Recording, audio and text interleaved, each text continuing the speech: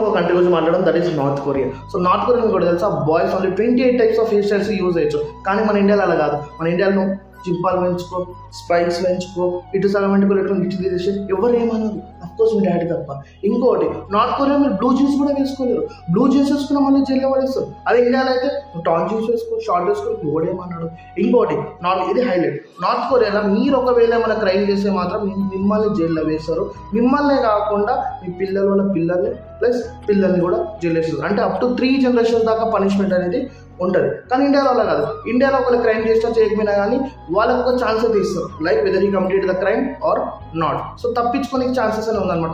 అతను క్రైమ్ చేయకపోతే there is a chance that he can miss the punishment అదే North Korea పుట్టుంటే మాత్రం you're gone just you're gone అంటే గాన్ అంతే ఇక.